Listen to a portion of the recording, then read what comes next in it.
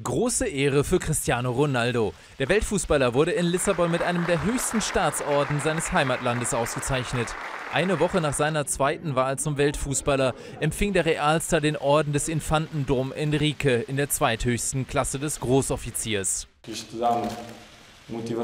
Ich möchte weiterhin mein Bestes geben, um Portugal von seiner besten Seite zu repräsentieren.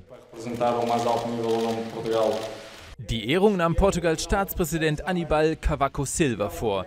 Den Orden hatte zuvor bereits Chelsea-Coach José Mourinho und Brasiliens Nationaltrainer Luis Felipe Scolari erhalten.